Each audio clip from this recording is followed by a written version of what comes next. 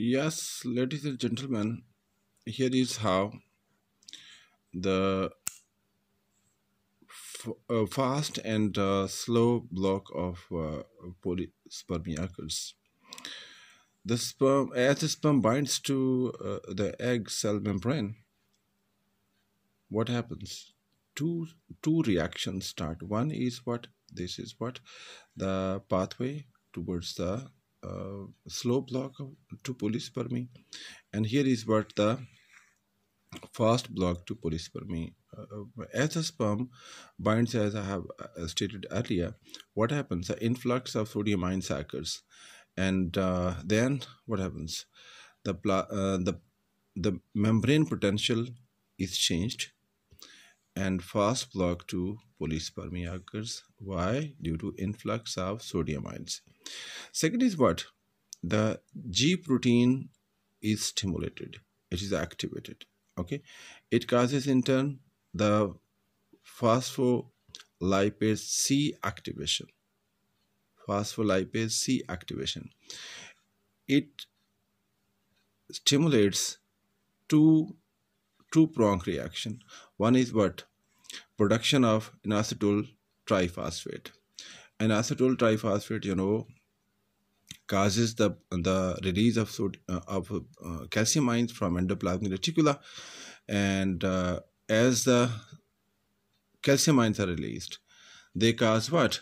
The activation of nicotinamide adenine dinucleotide kinase.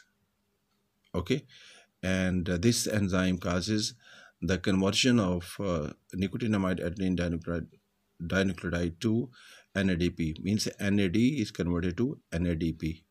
By what? By this enzyme, nicotinamide adenine dinucleotide kinase. It is stimulated by calcium release. Calcium release also causes another reaction. What?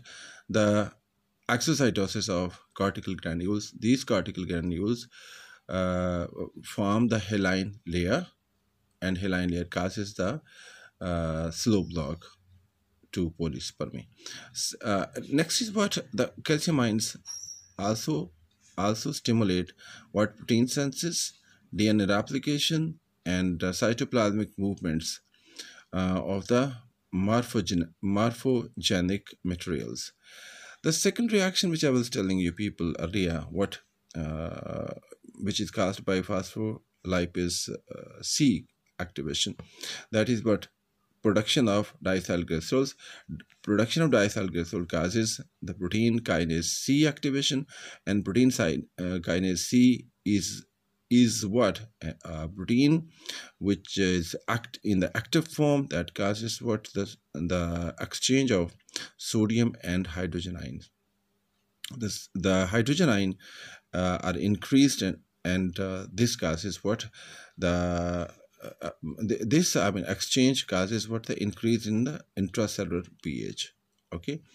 And intracellular pH eh, as it is increased it it again stimulates the the senses of proteins and DNA replication and cytoplasmic movements uh, of morphogenic materials. So this is what the story of uh, what slow block and uh, uh, sorry the this is what the slow block story and this is what the fast block. Okay, thank you very much.